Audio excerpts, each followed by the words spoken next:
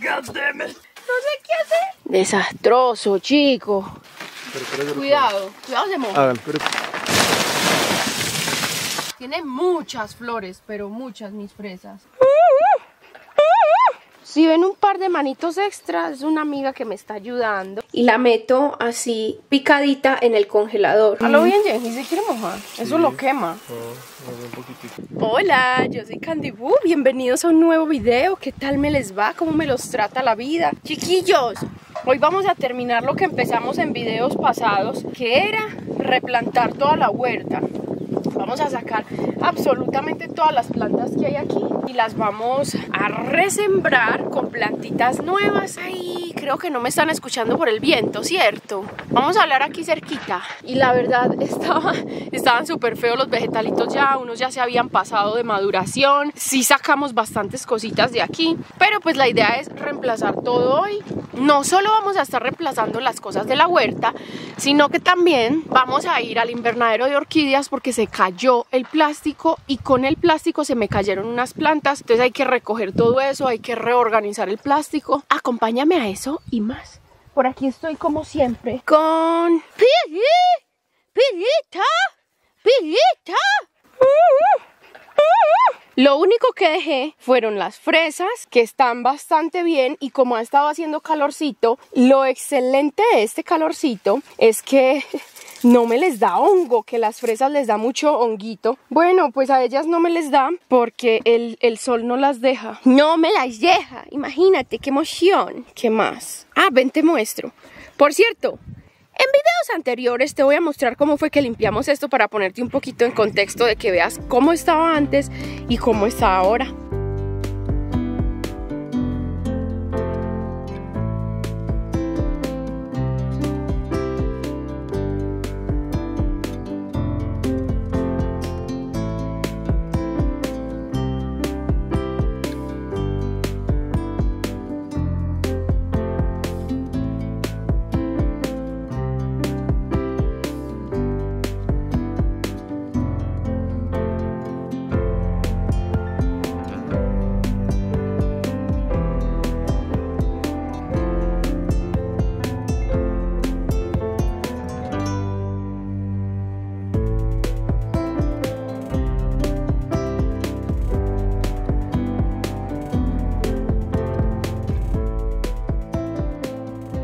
Mira las camas como están. A esta cama también le dejé cebollita sembrada. ¿Qué es eso? ¡Ah! ¡Son bichos, no es hongo! Hay que quitar todo. Todo lo que tenga esos bichos, mira. No, me va a tocar quitar la cebolla. Sí, señoritos. No, no, no, no, no, no, no. No, no, no, no, no. Así es como se ve. Está bastante despejada, súper. Pero sí hay que... Ay, madre, ve. Está un poquito duro esto. Creo que es por la gallinaza. Pero sí, reabonemos, replantemos y luego regamos. Mira, así es como se ve la cama de las fresas. Hay que levantar las fresitas que están creciendo pegadas al piso para que no se vayan a, morir antes de tiempo. Y como las levanto es con estos palitos que tienen una horqueta aquí. Entonces se entierra y se trepa la fresita en ella, así entonces ya queda elevadita del suelo por aquí tenemos bastantes de esos palitos para hacerlo mira así y se trepa la fresita y ya ahí queda y en esta que es la cama que está cubierta por el plástico Aquí es donde siembro los tomates. A los tomates no les gusta que les caiga agua en sus hojas. Como tienen bichitos, vamos a quitarlas todas.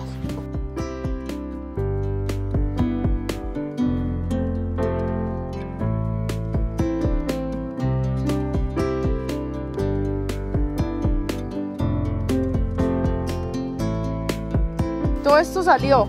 Como solo son bichitos, se pueden lavar y se puede utilizar el resto. Ya si fuera una plaga diferente, creo que no la, no la utilizaría. Pero bueno, eh, me parece que queda mucho mejor la cama así ya con todas las verduritas nuevas y frescas, ¿no? ¿No creen ustedes?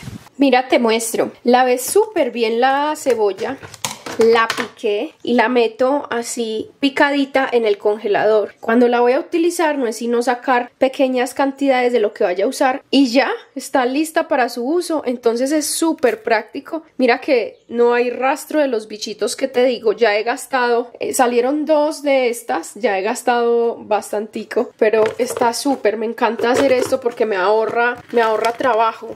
Para abonar voy a utilizar gallinaza. Como es gallinaza que ya está seca, que ya ha bajado mucho esos niveles de nitrógeno tan altos, no nos va a quemar las plantas. Fuera diferente el hecho de que estuviera fresquita, todavía oliendo terrible, porque como tiene tanto concentrado de los nutrientes para abono, pues entonces se, lo que hace es saturar las plantas de abono y nos las quema y las mata. Pero bueno, ya, en este no es el caso. Entonces vamos a llevar unos cuantos bulticos para echarle ahí, ahí a la huerta. Vean, me encontré este bultico de tierra de monte. Mira cómo le creció la tierra, la hierba por un lado. Y creo que se la voy a echar también. Pues si todo eso sirve. A ver si se deja porque como está amarrado por toda esta matorra de hierba que.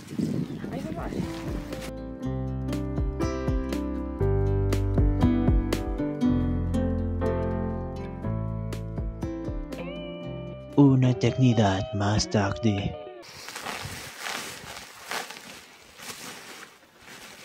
Está buena. Mira. ¿Qué pasa? Que si echo esa hierbita, si la dejamos ahí, pues empieza ella a crecer bien emocionada en la huerta con eso abonado. Y ahora una capa de gallinaza. Esa era la tierra abonada. Ahora la voy a echar gallinaza.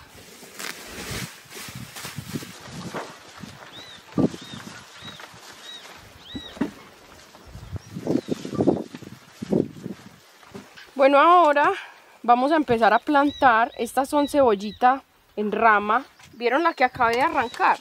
Esa era cebolla en rama también. Pero es que se crecen como unos monstruos aquí. Entonces, compré, no, no pedí tantas, la verdad. Vamos a hacer dos hileritas ahí para sembrar los vegetalitos. Sí me gusta quitarme los guantes, no sé por qué. Como ya van tres días desde que compré las verduritas para sembrar, hay unas que están tristes. Necesitan agüita. Entonces, esperemos que todas peguen bien porque es que no había podido sembrarlos. Sí me va a tocar regar diario porque no ha estado lloviendo. Y sobre todo estas plantas cuando son así chiquiticas, requieren muchísimo riego para poder enraizar. Listo, mira mi ruda, la amo. Bueno, ahora voy a seguir con el apio. Mira, estos sí compré tres solamente.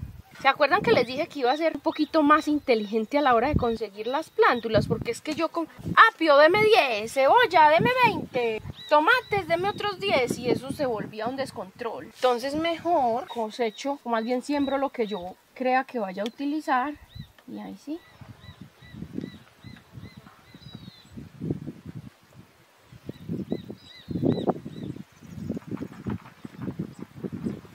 Si ven un par de manitos extras, es una amiga que me está ayudando. Toda linda se ofreció a ayudarme porque está por aquí quedándose un par de días en la finca, pero no quiere salir en el video, entonces se le respeta. Entonces para que sepan de quién es el otro par de manitos. Estamos sembrando lechuga crespa ahora. Ah, bueno, esta es lechuga palmi, que es la que les dije que crece más levantadita del suelo y ayuda a que las babosas no se las coman tanto la hoja. Ve, no sabía que en infusiones también era bueno. A mí me encanta el sabor de esto. ¿Te gustan como los, los sabores agrios y los olores agrios o es mi imaginación? No sé, como fuertes. Sí, eso, como que... Porque ¿qué otra cosa huele como el apio también? Nada. Mi mamá hubo una época en la que le decíamos la doctora apio. Sí. No, medio le decía, ay, ma, que me duele la barriga. ¡Apio! Venga, le hago una cosa de apio. Ay, ma, tengo como gases. ¡Apio! Para todo era apio. Ma, quedé muy llena. ¡Apio! No le busque más. Bonita. sirve, ¿Sí? sí sirve, sí. Bueno, resulta que abrí otro costal de gallinaza. Este estaba más mojado. Huepucha, el olor que esto está expidiendo es sabroso. Y mira, está como, o sea, literal, ya sí se siente la textura de la caca en mi mano. Pero ya mezcladito con, la, con esta tierra, se suaviza un poco. Y sí, empieza a botar esos lixiviados hacia la cama. y es por eso, porque tiene muchos de esos metidos en la tierrita, entonces creo que eso también influye de que esté así, como era la última de las más abajo, de los bultos que tenía, pues obvio esta absorbió todo. Bueno, ya por último, ya sembramos los tomates y el...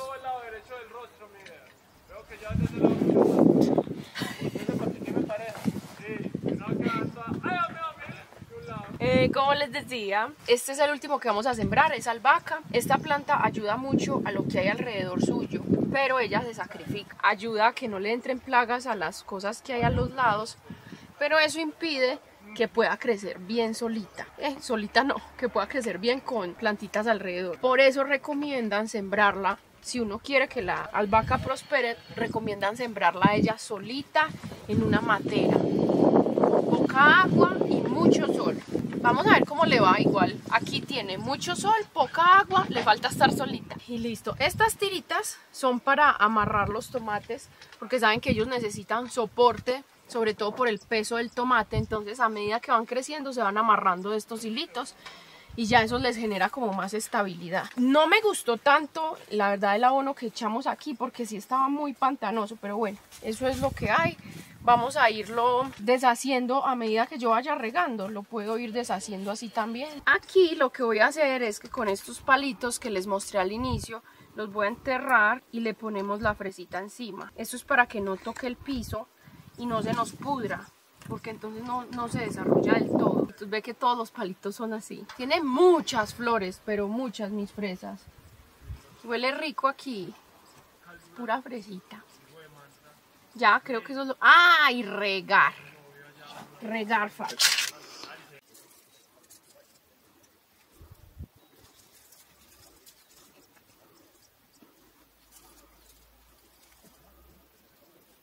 Listo chicos, ya lo último es grabar. Grabar, regar. Mira cómo están de tristecitas las matas. Ay, madre. ¿Cuál es el que me gusta? Nel. No, pues tampoco. Este. Es como tipo lluvia.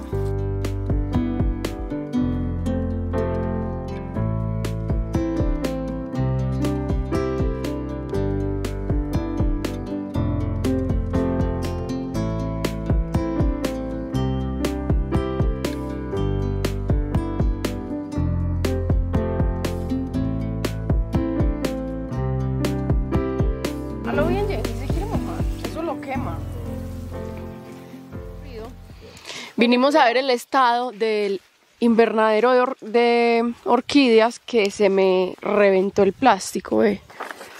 Ve. Entonces, por este lado... ¡Ah! ¿Se zafó, cierto? Sí, acá, acá lo tengo. Ay, gracias. Que le pegue un cabezazo a una matera y mira, mira el agua como recogió esto aquí, ve. Miércoles. Desastroso, chico. No, y sabes qué? Qué bueno que no me tumbó estos. Mira. Estos no me los tumbó. Claro. Ay. ¿Qué? No, es que el agua le está yendo Pilas que de pronto nos vamos a dañar. Pero, pero, Cuidado, cuidado se moja. Pero, pero. Dice, pero ¿para dónde se está yendo el agua? Mira, yo trepáis que aquí ni alcanzo. Y este man abajo.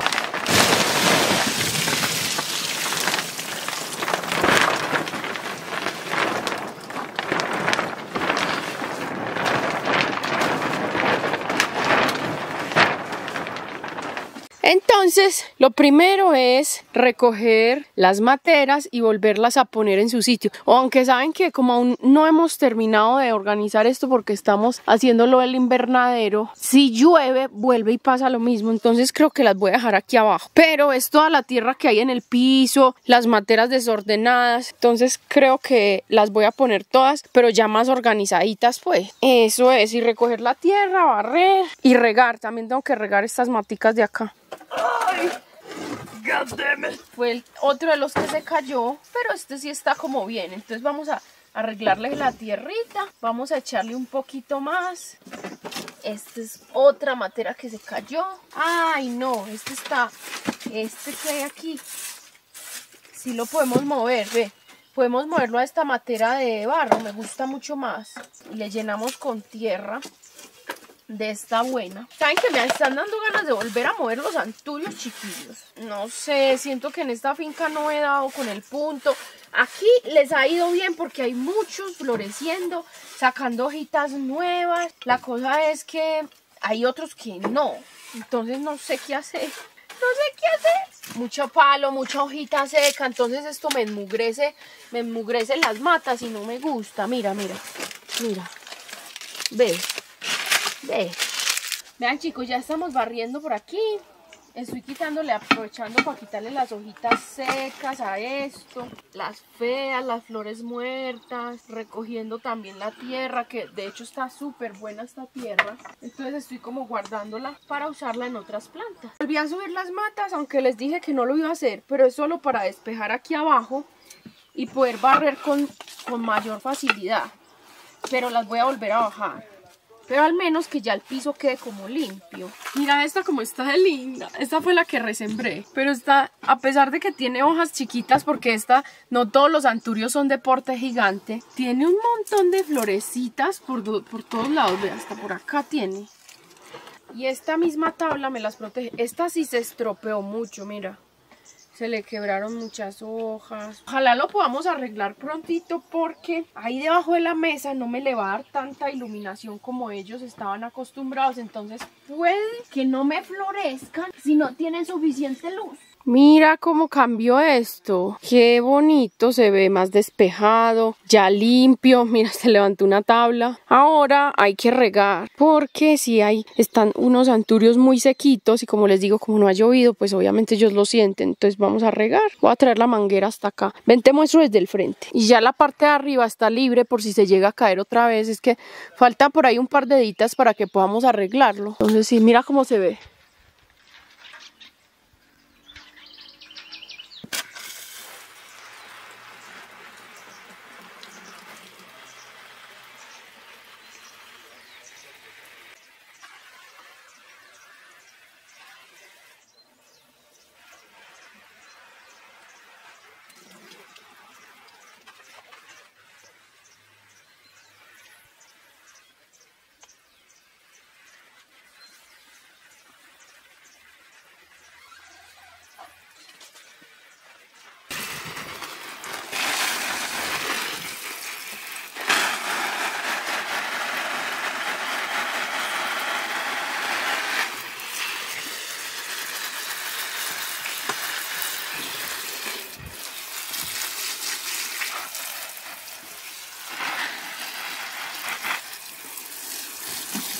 Sí que se ve limpiecito ahora, mira. También regué las orquídeas, todo, todo, todo. Yo creo que van a estar bien ahí, o sea, si bien tienen un poquito menos de iluminación, el saliente es por allá, entonces les llega solecito al menos un poquitico en las mañanas, como una horita. Y sí, ¿cómo lo ves? Cambió, ¿cierto? Qué cara tan diferente. Y mira, ya quedó un pasillo completo de, de anturios. Bellos, bellos.